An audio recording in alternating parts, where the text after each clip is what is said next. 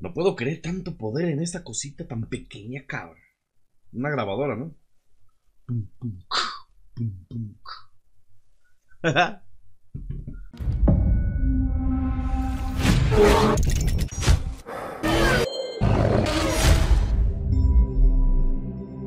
¿Qué tal sobrinos? Bienvenidos sean a este nuevo video tutorial hablando de emulación en Xbox Series S y por supuesto Series X. Bueno pues en esta ocasión continuaremos con la quinta parte me parece de este nuevo listado de videos hablando sobre el tema de la emulación en estas grandes consolas. En este video ahora veremos cómo configurar PlayStation 2 o el emo conocido como XV, no, es XVLTX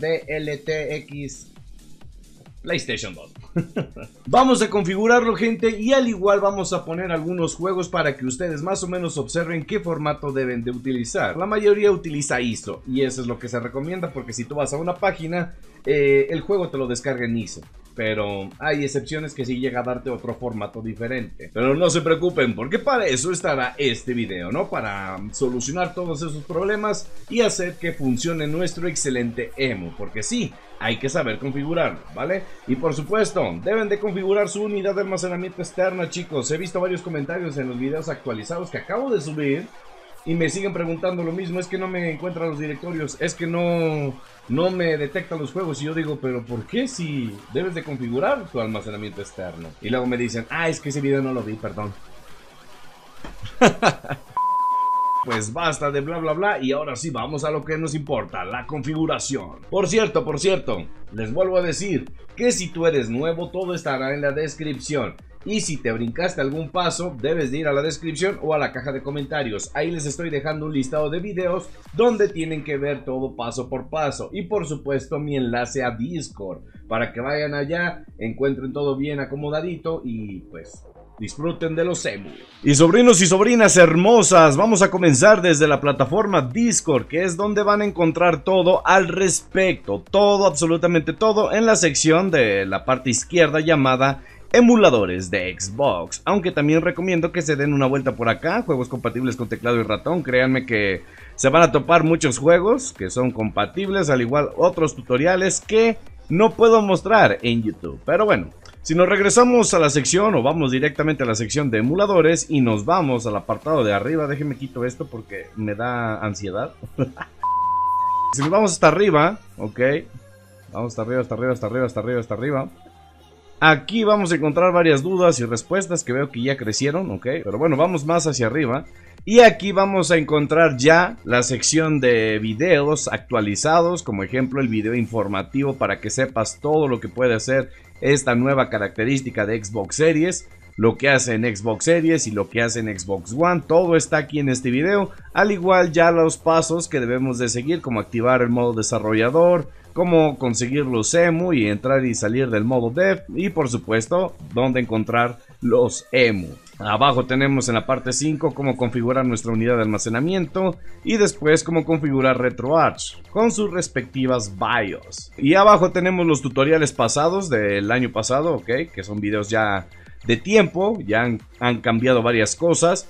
Pero aquí mismo en esta sección, después de, de este video, que es de RetroArch, Aquí estará el video que están viendo actualmente. En esta sección lo van a encontrar junto con todo lo que es las BIOS y por supuesto las carátulas que vamos a estar también configurando para que se vea bien bonito nuestro emo.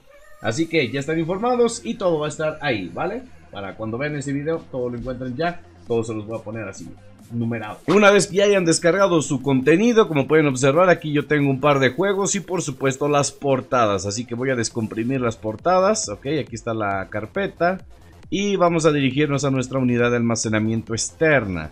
Eh, aquí yo voy a poner las portadas por fuera, ok, en la sección principal. Y continuamos ahora con los videojuegos. Como lo comenté anteriormente, el formato más utilizado en este tipo de aplicaciones es ISO.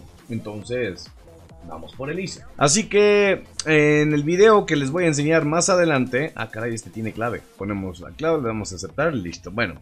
En el video que les voy a enseñar más adelante de las páginas que voy a recomendar, que no puedo subir ese video aquí por temas de seguridad de mi canal, ya que YouTube tiene unas reglas muy excesivas ahora, entonces para evitar problemas voy a hacer un video en otra plataforma. En ese video van a encontrar todas las páginas que yo recomiendo o que yo uso de momento y que me han salido más o menos buenas. Porque no, no son perfectas, ¿vale? Tienen sus errores todas. Entonces ahí van a encontrar los juegos y demás cositas interesantes. Así que bueno, vamos a continuar con el tutorial. Aquí está la carpeta de mis videojuegos. Voy a poner el Resident Evil 4 aquí, que es el Resident Evil modificado a idioma latino. Mm, interesante, ¿no? Después de un buen tiempo ya tenemos el juego Resident Evil 4. Vamos por el segundo y sería el último de este video. Vamos a ver. 20 minutos después. Y bueno, mi gente, después de un buen ratito ya de haber tardado aquí para meter todo esto, ya hemos completado la tarea principal, ¿ok? Ya tenemos los juegos y tenemos lo que son las portadas, ¿vale? Que creo que eso sería lo esencial. Pero no se olviden que también tenemos que tener las BIOS, que ya les mencioné que estarán alojadas en Discord, ¿vale? Todo estará ahí. Pongan atención. Entonces, una vez que hemos verificado que tenemos lo esencial, ahora sí sacamos o expulsamos nuestra memoria. Vamos aquí y expulsamos. Ahí está. Y bueno, pues ya tenemos todo aquí. Vamos a conectarla a nuestro Xbox Series S la parte frontal. Y ahí quedó. Ya la identificó nuestro Xbox. Así dice mi sobrino, el Xbox o el Xbox. Entonces vamos a iniciar sesión rápidamente. Ok, rápidamente iniciamos sesión. Y ahora sí, gente, ahora sí se viene lo bueno, ¿ok? Como ya sabrán, en el video anterior les enseñé a cómo colocar todas estas aplicaciones aquí. En este video, como ya lo vimos, vamos a hablar de PlayStation 2, que es el XBS X2.0, ¿vale? Vamos a darle en abrir y nos cargará, ¿vale? Esta interfaz. Ok, bueno, para todos, esto es lo que les va a poner, no hay pierde, todo es igual. Entonces... Para empezar vamos a configurarlo. En primer lugar nos vamos a Settings y eso sí, para movernos en el menú tenemos que utilizar la cruceta. No podemos utilizar la palanca, ¿ok? Nada más la cruceta. Y luego nos dirigimos al Settings, ¿vale? Como ya lo mencioné. Oprimimos el botón A y aquí tenemos varias configuraciones que podemos mover. Estas son las de presentación. Aquí podemos ver los FPS si queremos verlo. La velocidad, eh, el consumo de energía y todo eso. Y bueno, la resolución. Yo solamente activo resolución y FPS, lo demás me vale. No, no necesitan tampoco moverle a lo tonto, ¿ok? No le muevan de más, solamente jueguen sus juegos red. Que es lo que les va a enseñar el tío Baza. Ya activadas esas dos opciones, nos vamos a la derecha, nos desplazamos con el RB y el LB, ¿eh? los gatillitos de arriba, ¿ok? Nos vamos a la derecha y aquí vamos a cargar las BIOS. Como pueden observar, aquí donde dice BIOS Settings, ya cargué el directorio desde mi unidad de almacenamiento externa. Pero como ustedes son nuevos, vamos a darle aquí donde dice Change Shares Directory. Ok, oprimimos el botón A y luego nos vamos a la opción llamada Parent Directory. Aquí oprimimos varias veces el botón A. 1, 2, 3, 4, 5 hasta que nos aparezcan estas letras. Puede ser que ustedes les pidan más botones A, pero sea como sea, al final van a llegar a este listado de letras, ¿ok? Que son los puertos de enlace de almacenamiento de nuestra consola. Normalmente a mí me pone la letra E mi memoria USB, que es la parte frontal donde está conectada mi USB. Entonces, si ustedes la conectan en la parte frontal y ya configuraron su unidad de almacenamiento como lo hicimos en el video anterior, entonces debería ponerles igual la letra A. Digo, perdón, la letra E. Ay, ya me salí.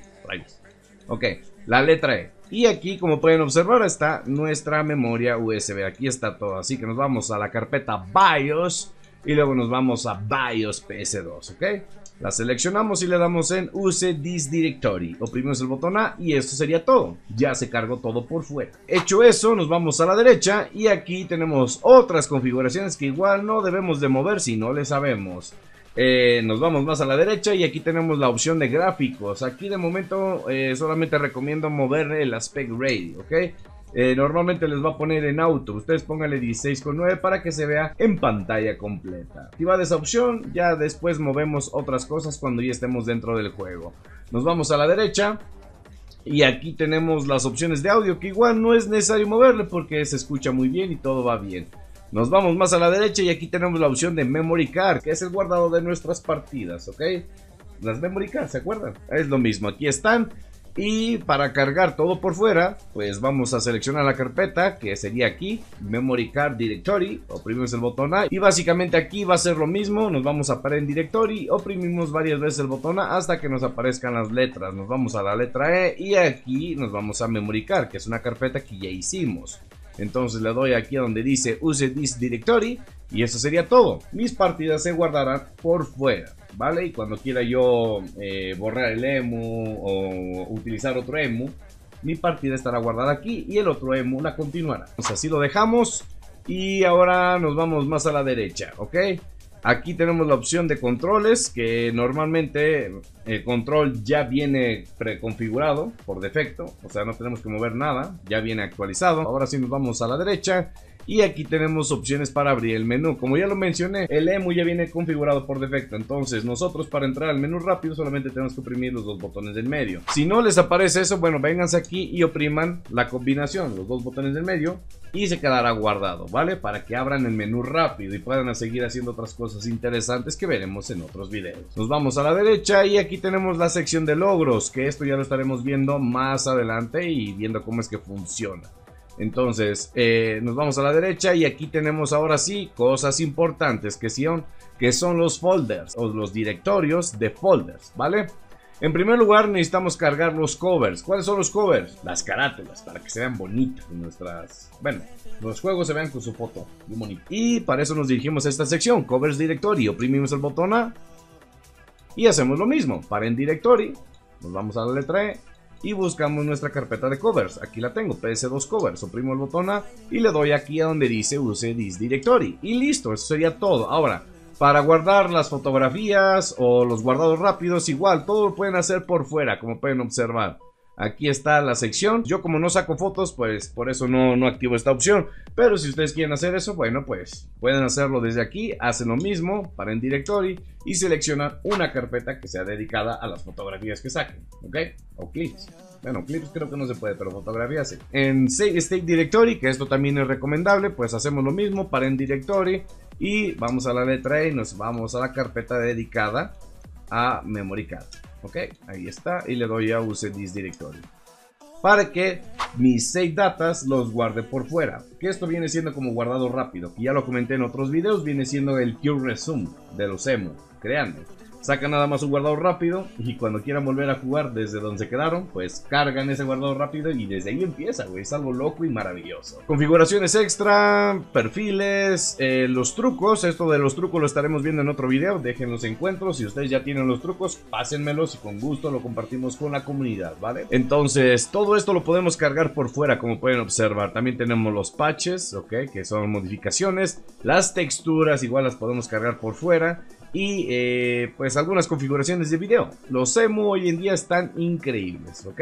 Son una maravilla de, de aplicaciones. Bueno, sea como sea, ya configuramos lo principal que viene siendo los covers y los guardados rápidos. Todo por fuera, ¿vale? Que eso es lo principal. Entonces, pues ya hecho eso, todo quedará configurado. Ya no tenemos que mover absolutamente nada más, ¿ok? Solamente cargar nuestros juegos. Entonces, para eso, vamos a regresarnos con el botón B Aquí está el menú principal y para cargar los juegos, para que los ponga en un listado, como ejemplo aquí, el tío base ya tiene el listado de juegos, vean, automáticamente los covers y los juegos se combinan y se proyectan así. ¿Por qué? Porque yo ya lo configuré. Si ustedes son nuevos, aquí les va a aparecer todo en gris y solamente les van a aparecer como que disquitos así vacíos con el nombre. O tal vez ni les aparezcan. Entonces, para configurar eso, Vamos a entrar en esta misma sección, como ya lo vimos, Game List, ok. Y aquí nos vamos a ir a la derecha, igual, nos desplazamos con RB o el LB, botones de aquí. Vamos a la derecha, nos va a poner esto, pero obviamente ustedes va a estar vacío. Nos vamos más a la derecha y aquí tenemos las configuraciones de los juegos. Entonces vamos a darle en directorio, ok que vendría siendo el Share Directory. Aquí oprimimos varias veces el botón A, nos vamos a Parent Directory, básicamente es lo mismo. Nos vamos a la letra E y luego nos vamos a nuestra carpeta de juegos, ¿ok? Que aquí debe de estar, Game Station, Game Station, Game Station 2, aquí está. Y le damos a Use This Directory, listo. Ahora, como ya configuramos los covers, que ya se van a cargar por fuera, eh, que por cierto, también podemos cargarlos desde aquí y que recomiendo igual hacer lo mismo por si les llegara a fallar la primera. Vamos a hacer lo mismo para, eh, para en directory, letra E y nos vamos a covers, ¿ok? Y le damos This Directory, ¿vale? Actívenla creo que les va a funcionar, ya sea una u otra. Entonces, configurado estas dos, este par de opciones, nos regresamos y luego le damos a Game List y ahora sí les va a poner como a mí, ¿ok? Van a tener dos presentaciones, esta presentación y la presentación de la segunda opción, ¿ok? Como pueden observar se ve bien, ¿no? Hermoso. ¡Wow!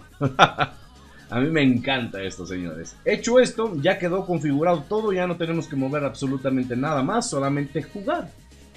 Eso es todo. Ahora, si quieren jugar en multijugador local, porque había muchos juegos que se podían jugar en multijugador local, de 2 hasta 4 jugadores, eso lo estaremos viendo en otro video, ¿vale? Porque sí, son muchas configuraciones, cada una de ellas tiene que ir en un video dedicado, porque es un revoltijo, señores, créanme, no puedo enseñarles todo en un video, porque si no el video duraría una hora o dos horas, y créanme que es mucha flojera ver eso nada más para una sola opción. Sean pacientes y de momento disfruten lo que ya pueden jugar, ¿no? Que pues son los juegos, ¿vale? Vamos a abrir, por ejemplo, no sé, eh, el Resident Evil 4, ¿ok? Oprimimos el botón A y listo. Empieza a cargar. Aquí tenemos una notificación, dice que el disco Location, renueva el Drive, Performance, sí, sí, yo, eh, no sé. es una notificación. Del lado derecho, en la parte superior, tenemos la resolución y los FPS, ¿ok? Como estamos jugando en español, conocido mejor como región PAL, vamos a darle que sí para que cree nuestra unidad de almacenamiento. Ahí está, en la parte superior ya se creó. Y así empezaremos a jugar nuestro videojuego favorito, ¿ok? Ahí está el juego, ahí está presentándolos. Y bueno, y ahí lo tenemos. Resident Evil juegas, señores, juegas. Vamos a darle encargar. Creo que ya tengo una partida, según yo. No, no tengo nada. Es que esta memoria no es la que yo utilizo. Yo utilizo un disco duro, como ya lo enseñé en otros videos. Ok, gente, como pueden observar, aquí ya estamos. Eh, ya estamos en, pues ahora sí, el juego. Este es el juego. Está totalmente doblado al español de España, tío. Pero está doblado. Ok, aquí está. Solamente cuesta trabajo agarrarle a los controles. Ok, ahí está. El primer pichón. Coger, tío. Diablos, ya se me hace tarde. bueno, eh, estando aquí, señores, vamos a entrar al menú rápido para que ustedes aprendan un poquito más sobre este gran emu, ¿vale? Eh, para entrar a ello, como ya lo enseñé hace un momento, tenemos que oprimir la combinación de teclas o de botones, que son estos dos, Start más Select. Los oprimimos y nos pondrá este menú de configuraciones. Podemos ir directamente a las propiedades del juego, el save state que como lo vimos se va a guardar por fuera, bueno el enlace lo pusimos por fuera. Y cuando saquemos un save state se guardará fuera y cuando quieramos cargarlo continuaremos desde ahí, sea como sea.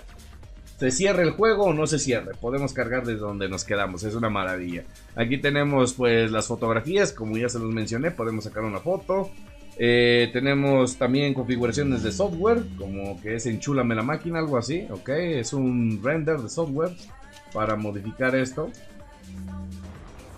Y bueno, básicamente ahorita nos puso la, la, calidad original de PlayStation 2. Esa es la calidad original. Como pueden observar, del lado derecho ya bajó la resolución a 448i. Esa es la resolución original del PlayStation 2. Si nosotros queremos jugar así, pues podemos jugar así. Si no, podemos aumentarla, no hay ningún problema. La activamos nuevamente. Y ahí está, pa. Ya subió la resolución a 2K. ¿Ya vieron? Chulada, pa. Chulada. Esa es una de tantas configuraciones que tenemos aquí. También cambiar el disco para los juegos que vienen en doble disco. Podemos guardar aquí. Eh, aquí mismo también podemos entrar directamente a las configuraciones, ok, para las mismas configuraciones que vimos al principio, podemos entrar desde aquí, ¿vale? Eh, ¿Qué más tenemos? Tenemos pues el cerrar el juego, close the game, ok, podemos darle aquí en exit and save state, ¿vale? Podemos crear un guardado rápido antes de que nos salgamos, si quieren le hacemos aquí, vaya, ahí está, y va a cerrar el juego pero automáticamente crea un save state, lo que mencioné hace un momento. Entonces, si yo vuelvo a abrir el juego, ¿vale? Me va a decir, ¿quieres cargar desde donde te quedaste? Yo le digo, sí, claro, desde donde me quedé. ¡Que viva la Xbox, señores! ¡Xbox! y esa es una de las tantas configuraciones y maravillas que nos permiten este, este tipo de emus. Ok, vamos a cerrar el juego. Vamos a darle Exit with Saving, que sería el salido rápido. Y podemos cargar otro juego, por ejemplo Dragon Ball Budokai, el Terminator, que es uno de mis favoritos, el Terminator, como ya lo mencioné. Es uno que más quiero, pero no me acuerdo que así cargaba. Eh, debe de ser una versión diferente.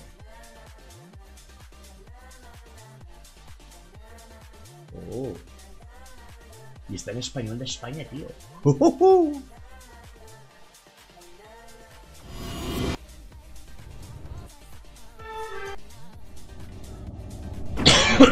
Black Ops Entertainment. No me acuerdo que así empezara, ¿eh?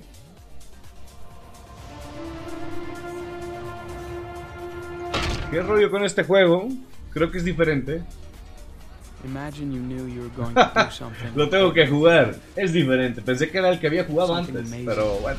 Aquí lo tenemos. Y ahí lo tienen. Este es el EMU PlayStation 2. Como ya pudieron observar, es una maravilla. Tiene grandes configuraciones y créanme que hay muchas más que podemos mover. Pero poco a poco, gente. Primero disfruten de los juegos y ya después el tío Baza les va a ir trayendo más información de lo que sí se puede mover y de lo que no. Porque hay cosas que ustedes pues a veces se pasan y no deben de mover. Y de hecho el tío Baza nunca se las muestra en un video. Una de ellas viene siendo el de dirigirse a Launch Home.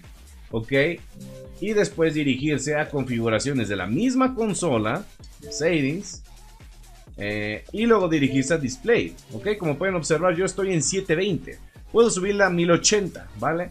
Pero también puedo subirla a 4K dependiendo de mi televisor. Señores, ustedes no muevan absolutamente nada de aquí. Yo sé que tal vez quieren subir más la resolución, pero no lo muevan. ¿Vale? No lo muevan. Los EMU están configurados para cierta calidad, cierto eh, cierta configuración del Xbox. Entonces, ustedes cuando le mueven algo que el EMU no es compatible o que no fue optimizado para eso, pues ¿qué creen que va a pasar? Por eso es que el tío Baza no les enseña eso. Yo puedo venir y aquí subirle. Pero no lo hago porque por lógica las configuraciones ya vienen por defecto para su uso normal, cotidiano. Así que mi gente pongan atención en los videos y no muevan algo que no saben ustedes, ¿vale?